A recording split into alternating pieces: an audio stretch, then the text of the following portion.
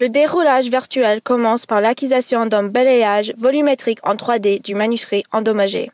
Ce balayage génère un ensemble d'images en coupe transversale qui montrent la structure interne du manuscrit. On peut ainsi très clairement voir les couches individuelles du manuscrit visualisées comme un objet 3D. Par contre, tout texte sur la surface de ces couches est impossible à lire. Afin d'avoir une version plus lisible du manuscrit, les images doivent être passées par notre logiciel de déroulage virtuel.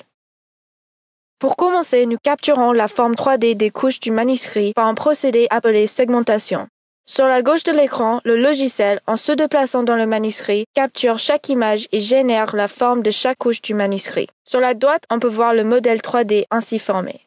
Ensuite, on extrait l'encre du manuscrit par un processus appelé texturation. En utilisant la forme 3D générée par la segmentation, le logiciel repasse dans le manuscrit. Mais cette fois, il cherche des pixels très lumineux. Les pixels lumineux indiquent des zones de matière plus denses, dans ce cas des encres à base de fer ou de plomb.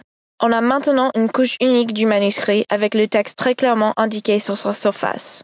Par contre, comme c'est une surface courbe, il est très difficile de lire tout le texte d'un seul point de vue. L'étape d'aplatissement de notre processus consiste à convertir cette surface 3D en surface plate, afin que le texte soit plus facilement lisible. Pour obtenir de bons résultats, ces trois étapes doivent être réalisées sur de petites parties du parchemin à la fois.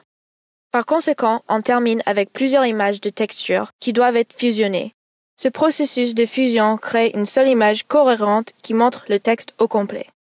En utilisant ce processus de trois étapes, on a restauré et révélé le texte de cinq rouleaux entiers du manuscrit d'Angadi. Les deux colonnes d'inscription en hébreu indiquent que le manuscrit provient du livre du Lévitique. Cela signifie que le manuscrit d'Angadi est la plus ancienne copie d'un texte du Pentateuque trouvé dans une arche sainte, une découverte importante pour l'archéologie biblique.